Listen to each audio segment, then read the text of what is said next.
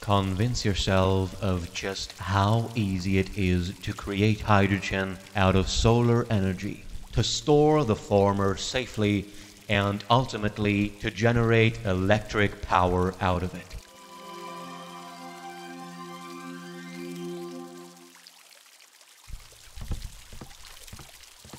There are no complicated control electronics necessary. Depending on the intensity of solar energy, the generation of hydrogen and oxygen will fluctuate accordingly. Both are being stored separately of one another in the glass containers.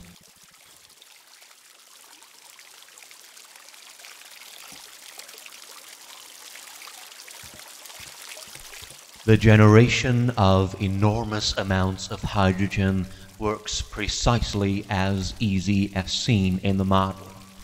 An infinite energy source, which also turns out to be an economical and climate neutral replacement for fossil fuels, such as coal, petroleum, and natural gas.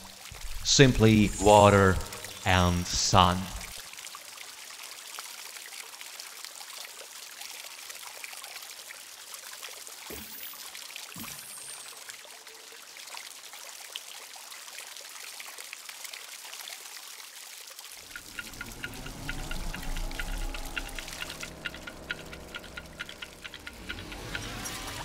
Each and every gasoline engine is capable of operating on hydrogen in an inexpensive and climate neutral manner, working just like today's automobiles, which are running on gasoline and natural gas. Refueling's done in a matter of minutes.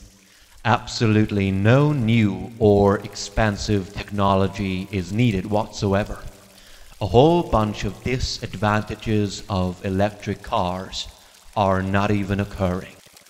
Now, what about diesel vehicles? Those too can be converted to function with hydrogen. Close to an endless amount of water is at our disposal. Hydrogen obtained out of it could be offered at gas stations in huge amounts it is capable of replacing all other fuels. The book Electric Mobility and the Logic of Failure explains in straightforward and easily understandable terms why cars powered by hydrogen make an awful lot more sense than your average electric car.